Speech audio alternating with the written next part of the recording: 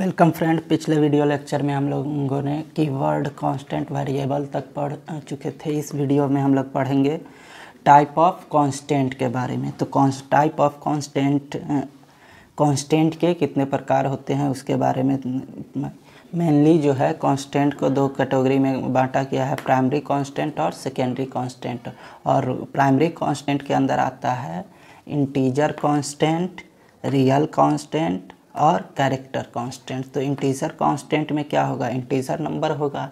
और real constant में क्या होगा? रियल नंबर यानी कि डेसिमल पॉइंट वाला नंबर होगा. रियल कांस्टेंट के अंदर क्या होता है? डेसिमल पॉइंट वाला नंबर होते हैं. जैसे फाइव पॉइंट एग्ज़ाम्पल हमारा हो गया five point five zero point two two ये रियल कांस्टेंट के अंदर आएँगे. क्या किसके अंदर आएँगे? रियल कांस्टेंट इंटीजर कांस्टेंट के अंदर क्या आएगा? सिर्फ़ 55 टू वन ट्वेल्व ये हमारा रियल कांस्टेंट के अंदर आएगा। और कैरेक्टर कांस्टेंट तो कैरेक्टर कांस्टेंट के अंदर क्या आएगा? कैरेक्टर कांस्टेंट के अंदर आएगा आ, हमारा A capital A small B तो इसको कैसे लिखते हैं? ये कंस्ट्रक्शन का रूल जो है पढ़ेंगे, तब समझ में आएगा कैसे लिखते हैं इसको, कैसे बनाते हैं, ये सब पढ़ना है। है तो रियल कांस्टेंट इंटीजर कांस्टेंट का कंस्ट्रक्शन कैसे करते हैं, उसके बारे में देखते हैं। कंस्ट्रक्शन इसका कैसे करते हैं, उसको देखते हैं।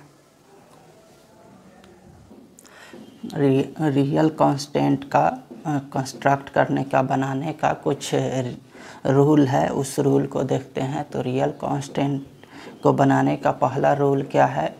कम से कम एक डिजिट होना ज़रूरी है। क्या है? एटलीस्ट वन डिजिट ये वन डिजिट होना ज़रूरी है। जैसे देखिए फोर टू सिक्स इसमें एक कम से कम वन डिजिट यानी कि फाइव वन डिजिट होना ज़रूरी है।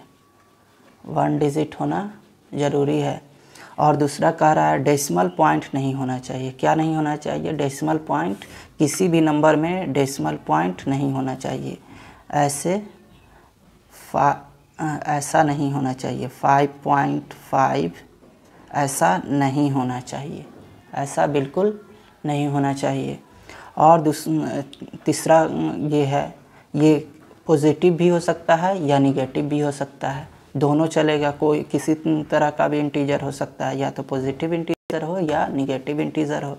तो जैसे देखिए, ये ऐसे भी इस तरह भी हो सकता है और इस तरह भी हो सकता है। Minus six, three, eight, four भी हो सकता है, ये निगेटिव है और ये क्या है पॉजिटिव है, ये भी हो सकता है।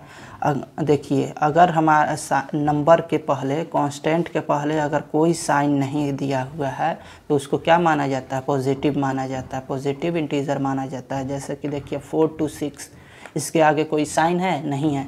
लेकिन तो इसको क्या माना जाएगा? ये माना जाएगा पॉजिटिव माना जाएगा। क्या माना जाएगा? पॉजिटिव माना जाएगा। तो उसके बाद देखिए, पांचवा क्या बोलता है, हम ना ही कॉमा दे सकते हैं और ना ही ब्लैंक दे सकते हैं किसी डिजिट के, जैसे देखिए फाइव कॉमा फाइव सिक्स, ऐसा कभी नहीं लिख सकते हैं। ऐसा कभी नहीं लिख सकते हैं और ना ही ऐसा लिख सकते हैं। फाइव स्पेस और सिक्स सेवन, ऐसा भी नहीं लिख सकते हैं। तो इसका ये हो गया रूल तो देखिए example four two six four two इसमें देखिए एक डिजिट एटलीस्ट वन डिजिट यहाँ पे तो ती, तीन तीन डिजिट दिया हुआ है। कह रहा है डेसिमल पॉइंट नहीं होना चाहिए डेसिमल पॉइंट नहीं है। तीसरा कह रहा है या पॉजिटिव हो सकता है या निगेटिव हो सकता है। अगर साइन तो ये क्या है? इसके आगे तो कोई साइन नहीं लगा हुआ है तो नेक्स्ट रूल देखिए, अगर साइन नहीं लगा रहे कांस्टेंट के पहले तो क्या माना जाता है? पॉजिटिव यानी कि ये क्या है? पॉजिटिव रियल कांस्टेंट है। सॉरी इंटीजर कांस्टेंट है। पॉजिटिव इंटीजर कांस्टेंट है। तो और ना ही इसके बीच में कॉमा यहाँ पे कॉमा है, नहीं है, ना ही फिल ब्लैंक्स है। उसी तरह ये है। यहाँ पे क्या है? माइनस है। और चार डिजिट है तो ये भी क्या हो गया? ये वैलिड है। ये भी वैलिड है, ये भी वैलिड है, ये वैलिड नहीं है, ये वैलिड नहीं है, ये वैलिड नहीं है। तो ये हो गया हमारा इंटीजर कांस्टेंट बना कंस्ट्रक्ट करने का रूल हो गया।